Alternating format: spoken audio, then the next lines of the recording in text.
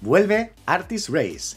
Llegan los castings para la temporada 3. Si eres un artista digital con ganas de aprender diseño de vestuario y de personajes, este es tu momento porque participarás en un concurso de altísimo rendimiento al más puro estilo Drag Race te buscamos. Cada semana vas a diseñar looks sobre una de las modelos que te entregaremos previamente, ya que nadie puede saber que estás participando. Y es que hasta que no seas expulsado o ganes el concurso, nadie sabrá quién eres y hasta ese momento tu identidad permanecerá anónima. Tendrás que demostrar semana a semana a los jueces que serás la artista más versátil de esta edición, ya que recibirás críticas de los más profesionales artistas del sector, incluyendo entre ellos a nuestros jueces fijos por supuesto, Hueladora y Sensi Dani y otros artistas secretos que irán rotando cada semana. Si quieres participar, lo único que tienes que hacer es inscribirte en el link que verás aquí debajo y verás que hay una pequeña prueba que tendrás que realizar para que veamos un poco tus dotes artísticas. Así que nada, mucha suerte y no la caguéis. Preparad vuestros pinceles y que la mejor artista gane.